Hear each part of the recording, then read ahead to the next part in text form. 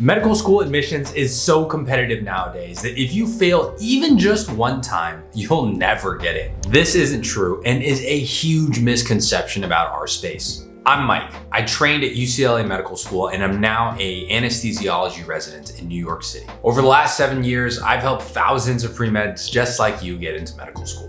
And it's these pre-meds, including the ones that have gotten into the top medical schools in the country, and myself included, have all failed multiple times. So in this video, I'm going to share a ton of my own failures to normalize it, and so that you can take away the lessons without having to experience the scars from the mistakes in my pre-med journey. First, Transparency about failure is really important. Too many pre-meds nowadays struggle from critical mental health issues. And part of it, I think, is the undue pressure they put on themselves to be perfect. And in today's world with social media, you don't really see a lot of negative things being posted, only the wins of all of your many hundreds of friends. For example, no one puts on Instagram the 30 shadowing emails they sent that got no response. And even if you get full access to a successful pre-med application, of course, that application won't naturally feature the pre-med's failures, only their most important, most significant experiences.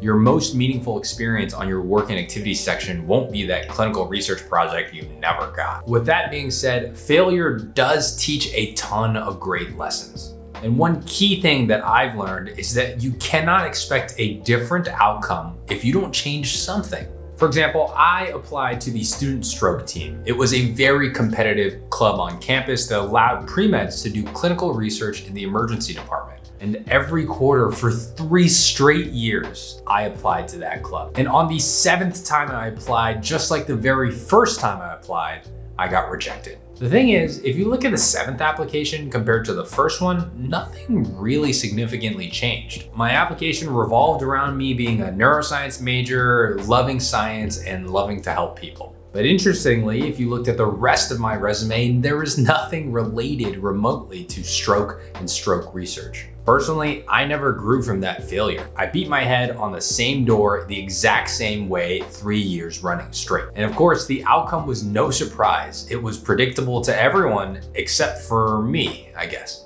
If I were to do it all over again, I wish I asked the club leadership for some pointed feedback. And of course, I wish I followed whatever advice they were going to give me and actually changed my resume and changed my application to fit what they were looking for. So if something isn't working out and you continue to fail, whether it's your GPA or your inability to get clinical experience or research, figure out where the lesson is and more importantly, commit to changing something so you get a different outcome the next time. And equally as important as the failures is understanding what success looks like. It's easy to figure out what's not working, but sometimes it's not very clear what a strong application looks like. In our description box down below, there is a link to our application database, which features eight full medical school applications that got into top schools like UCSF and UCLA. You can check it out if you want to calibrate what your understanding of success really looks like. Another failure that most pre-meds experience, and I certainly did, was the inability or struggle to get to research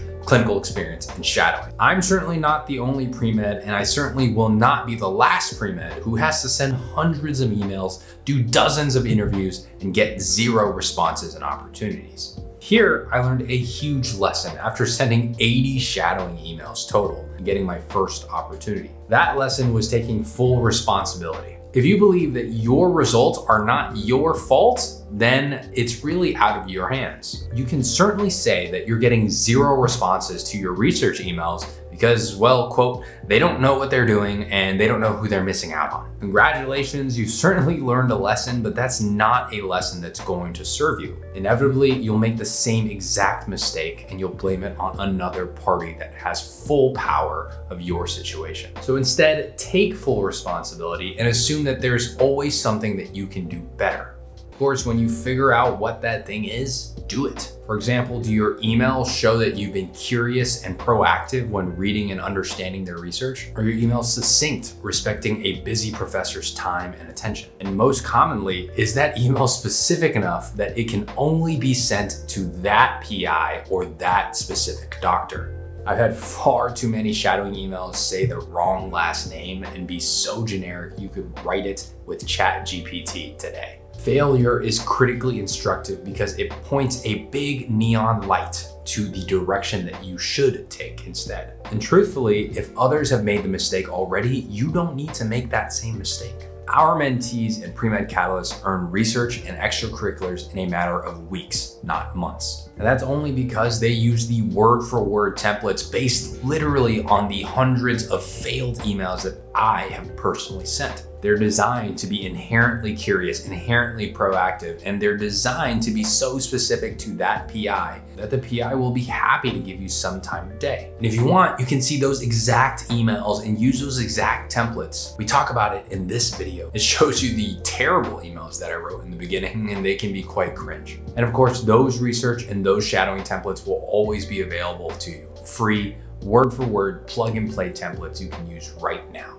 Links are in the description box below. And so learn from my experience, whether it's sending generic emails or not being prepared. Throughout my pre-med journey, I failed a ton, but I've also succeeded a ton. And I eventually got accepted to my top choice medical school, UCLA. And while today that may be all you see, you have not seen all the failures along the way. Behind every upperclassman, medical student, resident, or doctor that you know is the exact same story. Pre-Med Catalyst is based on my journey and that of the thousands of pre-meds that we've served. We have all faced the exact same obstacles that you are struggling with today. Our successes and our failures have taught us how to best navigate the pre-med years and these videos and our company is designed entirely around helping you live your pre-med journey. There's this fantastic quote that I think encapsulates our philosophy well. Only a fool learns from his mistakes. The wise man learns from the mistakes of others. And one step further than that, the wisest man